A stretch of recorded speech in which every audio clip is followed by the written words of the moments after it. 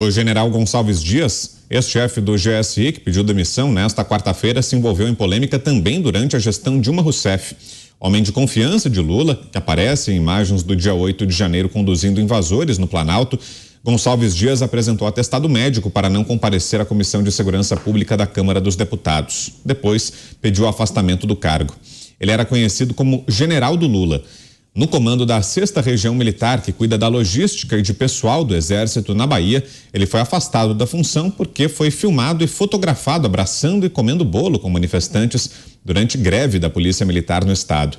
Naquele fevereiro de 2012, houve saques, ônibus foram rendidos. A situação se agravou a tal ponto que o governo federal assinou o decreto de GLO, garantia da lei da ordem. A atitude do comandante irritou tanto a então presidente Dilma quanto o então comandante do Exército, Enzo Peri. Ele foi exonerado do cargo para, na ocasião, assumir a diretoria de civis, inativos, pensionistas e assistência social do Exército.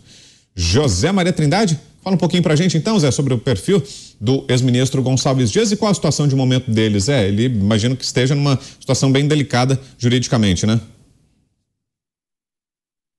Sim, está. Vai ter que explicar, né? Olha, Vitor, o primeiro ponto é que abre-se na Comissão de Segurança Pública da Câmara dos Deputados a possibilidade ali, o que eles chamam de plano B, de investigação.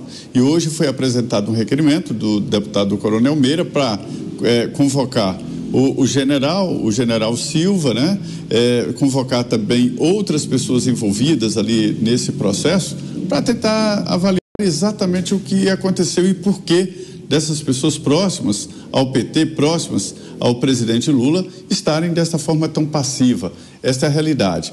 É, o general, ele foi participante de todos os governos e era o guarda-costa ali, o, a segurança de, do, do, no governo Lula, no governo Dilma, e voltou. Só que é um senhor de mais de 70 anos, mas tem a inteligência, né? não exatamente a linha de frente de uma batalha, mas teria a, a, a inteligência e o conhecimento do que é a segurança do Palácio do Planalto.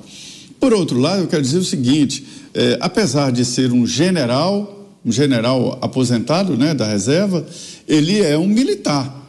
E militar, ele obedece e segue normas. É, é o, o ato primeiro né, da, da atividade militar a hierarquia. E o que eu ouvi é que ele não estaria, não estaria ali solto nem à toa, né? E estaria exatamente cumprindo um papel que ninguém sabe exatamente qual é esse papel e que a CPI vai apurar. Né? Essa é a realidade. Ele disse que foi traído no, no, quando ele conversou com Lula, ele disse que foi traído pelo pessoal da, da, da, própria inteligência, do Gabinete de Segurança Institucional da Presidência da República. Mas dentro desse debate, dentro dessa discussão, está uma disputa pela inteligência do governo. Esse setor de inteligência é importantíssimo, importantíssimo. É um setor que derruba governo e que enaltece governo. Tanto é assim que o próprio Constituinte deu a, a, o controle do setor de, segura, de, de inteligência ao Senado Federal. O Senado tem uma comissão específica para cobrar, avaliar de tempos em tempos, né, como está o serviço de inteligência do governo.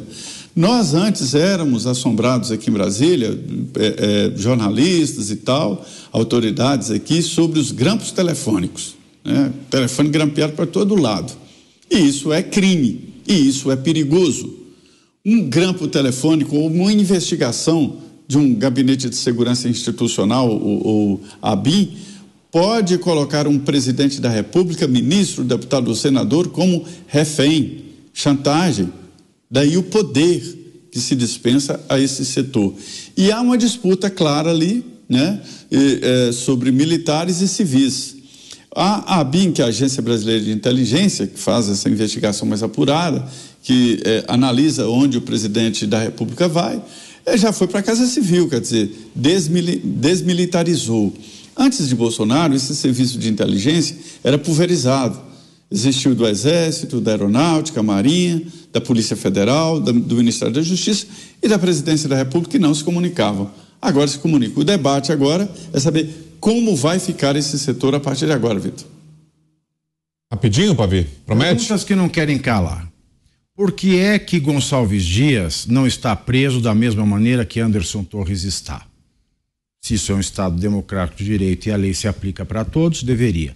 Por que, que Lula não foi afastado da Previdência da mesma maneira que Ibanez Rocha foi? Ambos têm a mesma situação que ambos hoje.